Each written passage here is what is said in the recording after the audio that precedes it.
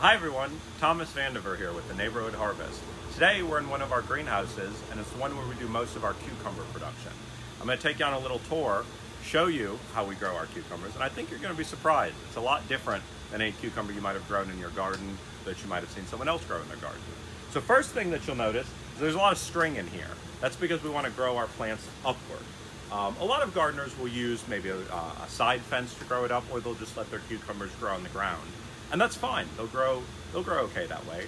But for us, we want to try and get maximum production. It costs a lot of money to heat these greenhouses, and we got to make them work. So we go up. It also has the benefit of creating more surface area for the plant, so that we can get more sunlight.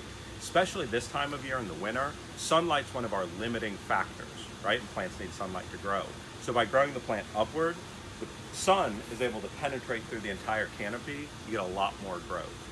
Really important in your cucumber house that you arrange your rows running north to south for that reason. And so these rows are on a perfect north-south axis so that when the sun rises on this side of the greenhouse, it comes up, hits its peak, and then it goes this way. And so just like a vineyard, each side of our row is getting an equal amount of sun so that you don't have one side out competing the other. So that's, that's the biggest reason that we grow them. It's the sunlight, but it also makes it easier to manage. If you come down low, you'll see that all of these plants are planted in slabs. Okay, so this is the same rock wool that we grow our lettuce in, but rather than it being the little one by one cubes that a single lettuce plant sits in, instead it's a three foot long um, slab. And what you'll see is that there's three planting sites. One, two, three on each slab. Each site has got two crops. And so you'll see each one is on its own wire. It goes up. If you, and maybe we can get a shot so that they can see down it, what you'll see right down the row here is that the strings go out at a little bit of an angle. And again, that's to create space in the middle for more sunlight penetration, more airflow. These guys here are small. You can see they're only about a foot tall. But as you go back behind me, you'll see ones that are about three foot tall, four, five, six. They get all the way up to eight feet tall. When they come up this line, there's little red clips you might zoom in here so you can see them. These little clips here are helping keep the plant trained without pinching it. Old school is you used to take the, the string and just wrap the plant around it. So like for example, we just take this right here and wrap it. Problem is, is that as the plant gets heavier and heavier, it's actually cutting into it and you could end up, you know, cutting the plant or just reducing the amount of water and nutrients that can be brought to the top of the plant. So these clips are great. They're cheap, they're biodegradable, and we use them to keep the plant online. As it comes up, you're gonna let the fruit start to produce. So right here you'll see we've got some little yellow flowers and as we go through, anywhere that you see a flower, we could grow a fruit. Now when the plants are this small, we tend to pluck the fruit off. The reason being is that you want to give the plant the ability to divert its energy towards root production at the start, right? Fruit takes a lot of energy off of the plant to produce. And so if it's focusing on producing fruit, it's going to balance all of its available resources between fruit and root production. When you cut the fruit off, it's going to drive it all to the roots. That gives you a strong, solid base so that when the plants get big, like the ones we got over here, you can get really solid production on it.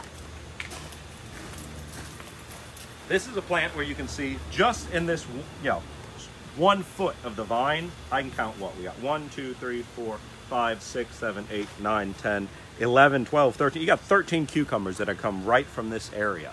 And the reason that the plant can support that type of production is it's got a really strong root system. That's important. Now, where are the roots getting their water and nutrient from? They're obviously getting it from the slabs, but it's on a different sort of timer than our lettuce. The lettuce is on an NFT uh, system. That means nutrient film technique. So there's a small amount of water that's constantly running, creates a film that the roots are able to grow out into and suck up that water, suck up those nutrients. Here instead, it's actually on like a boom bust sort of timer system. So eight times a day, the slabs are flooded.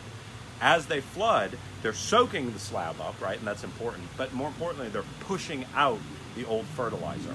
Cucumbers, like tomatoes, are really heavy feeders, right? They're feeding on a lot of fertilizer.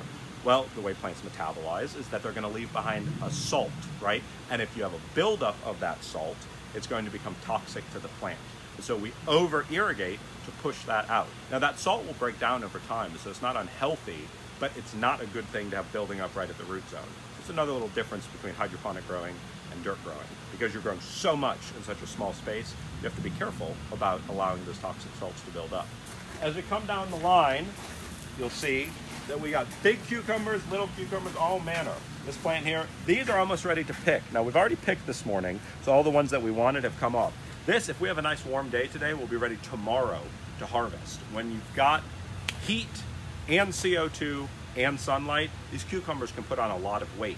There's times that we can pull 100 pounds a day out of this place as long as you know our, our growth is optimized. Now this time of year, we are using our grow lights. You can see them, they're right above me.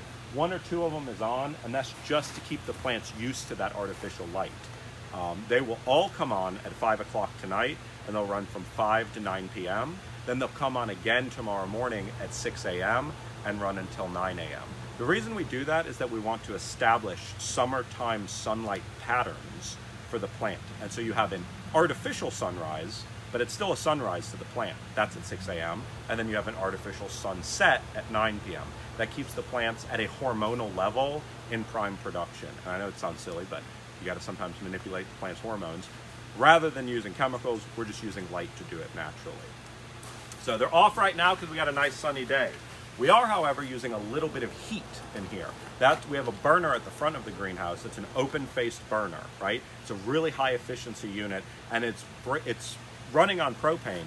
But what it's putting into the air is a little bit of moisture, but mainly CO2. The CO2 is important because it's cold outside, so we're not running any of the fans in here.